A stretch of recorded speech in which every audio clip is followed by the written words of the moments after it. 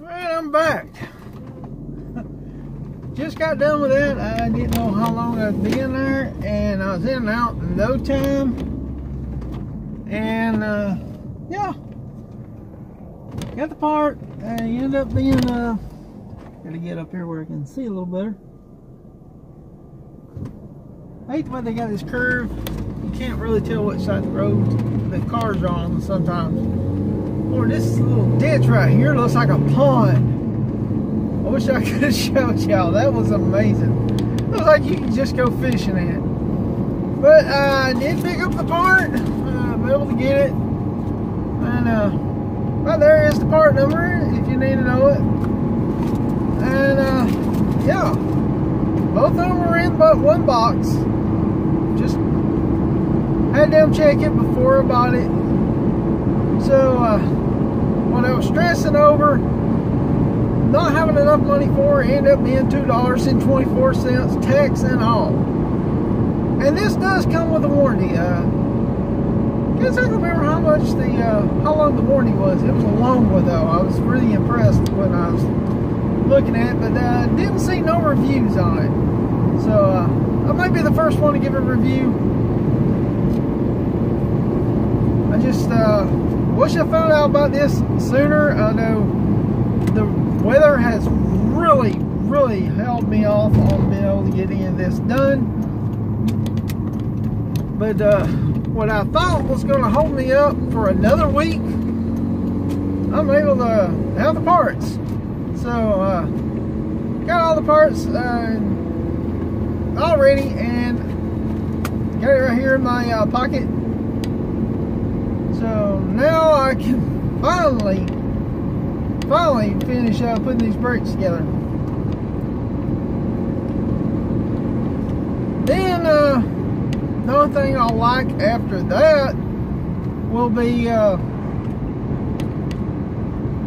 finish up the exhaust. Uh, do need to do the power steering lines well.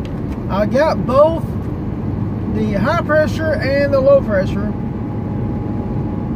It looks to me like uh, I may have to take where the old line hooks up to the uh, steering box. I may have to actually break the line where I put a socket on there and break those free. Uh, then putting the new lines on shouldn't be that hard. Which the return line uh, is for the 78C10. It's got the hose and then it just clamps onto the uh, return line onto the other one. So that'll work. Uh, and the other line is for the Silverado power steering pump that's supposed to, with the part number, uh, also hook up to the factory steering box on the C10. I've never been able to try that part out because the uh, I never could undo the power steering line. And it's at that time I thought I'd be able to use the original return line when the line itself was uh, dry rotted.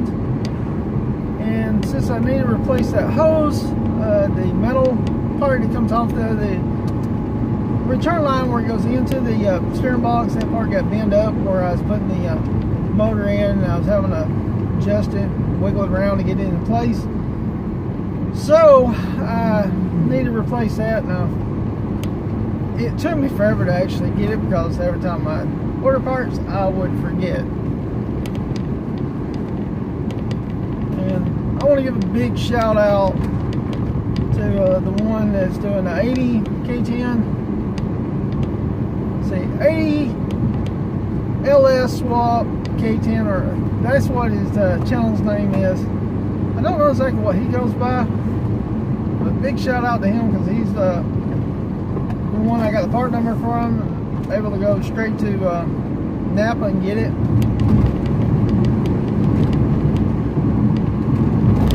And uh, I mean, I still probably have a few small stuff I'll need to get later on, but I got everything I need to finish the truck and have it where it's drivable. I do think I'm going to get need to get some adapters for the uh, cold air intake to uh, better fit the cold, uh, the uh, massive airflow sensor to the air intake itself. I will know more about that when uh, I finally get my power steering done and I put it on there.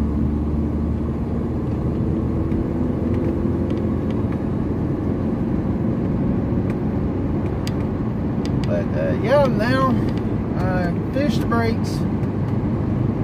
Then I got to bleed the brake. My goal was originally to uh, finish the passenger side, bleed it, then do the other side, bleed it, and then flush the system. At least the rear section. Then I can worry about the front one uh, at later date.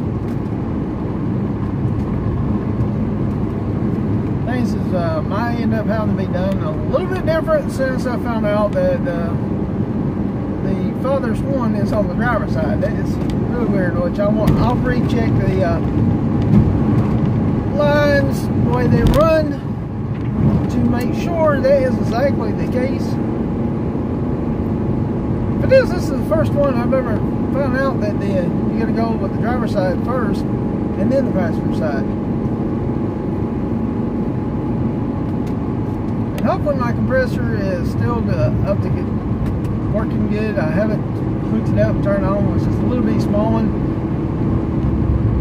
Which uh, I want to get a bigger one because uh, when I use it to go with the vacuum bleeding oil bleeder, uh, brake bleeder that I got, it uh, only does a small amount before it runs slap out of air. So I want to get a bigger one, be able to do stuff like that without and uh,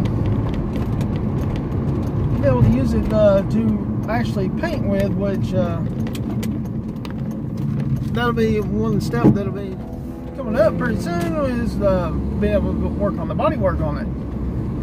And I've got several ideas what I want to do. Uh, still trying to get the idea of, you know, in my head confirmed and what I want to do.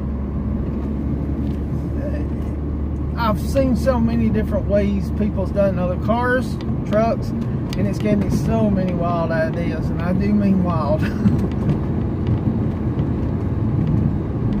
Some may not be practical, and uh, others may be perfect. I want to make 100% sure before I do. I do know, uh, one thing I want to do is, when, uh, you'd have to watch my other video vlogs, which uh, I only think I've touched up on a few. The uh, dash, which is cracked and pretty bad, and I've always, even when my daddy had it, I was like, I'd love to have a truck just so I can do stuff with it because of it being in the shape it is. I can, you know, it's nothing you can hurt. to you know, you can only do improvements. I want to modify the dash a whole different shape, but I'm going to use the original dash as uh, use it where it can actually mount. So I'm going to modify that dash to look like a different one. I still haven't made up my mind if I'm going to take it and add stuff or if I'm going to take find another dash that's got sort of shape and then merge the two together in one. Still working on that little detail, but I do need to work on the dash where I can uh, put it on there. But I uh, don't think I actually have to have it to be able to actually drive it. I do have the, uh, you know, instrument panel all hooked up. I do need, and this just reminded me, uh, we'll have to change the oil pressure sensor. Get the, uh, oh, I can't remember what the uh, part is uh, that I actually need to get because I got the uh, cheaper one to see uh, if it worked. But I'm gonna have to get the uh, other brand to uh, get it to work with my gauge that I know 100% that everybody's confirmed that that will work. I am to uh, upgrade to a different kind of gauge later on. The other thing I need to work on is my uh, speed sensor. The drive cable uh, one uh, this uh, kind of strip where it goes into the turbo 350 and I need to fix that part. Maybe even replace that since it is uh, stripped go ahead and just put a new part on that. Um, I need to start looking into that because uh, it lets uh, the transmission leak a little bit right there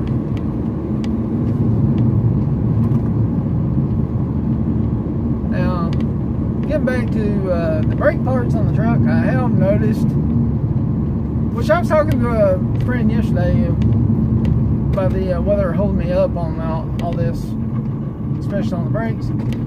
I was telling him I'm surprised that all the rain, uh, my truck rear end sitting on uh, the uh, uh, jack stands, that it hasn't sunk down into the uh, dirt mud, considering there's a lot of sand where I am, and I got that. Well, when I was uh, getting ready to work on the brakes, and I realized that I need that spring, that, uh, yeah, it, the jack stands have sunk into the ground about an inch and a half, almost two inches. Not quite two inches, but almost. But, uh, should be still able to put my jack. I got it set on all I gotta do is jack it up. Get it up off there and be able to put the wheels back on. Which uh the wheels off only on that passenger side, and that's because I didn't have the brakes done. Driver side, uh still got the wheels. Anyway, I'm gonna stop this video here uh, and get ready to hopefully be able to get those brakes done. Uh, that way I'll be able to actually move my truck, which I, I got to find those keys so I can move it. If not, I may have to uh, unlock the uh, steering column and uh, straight wire it for uh, temporarily until I replace everything. I will have to look into it and see what I'm going to have to do. Anyway, don't forget like, comment, subscribe. Uh, give me some more ideas of what uh, tips I may be doing wrong on this swap and uh, what things I should be doing. Just in case I'm missing something. Anyway, I'll see y'all in the next video.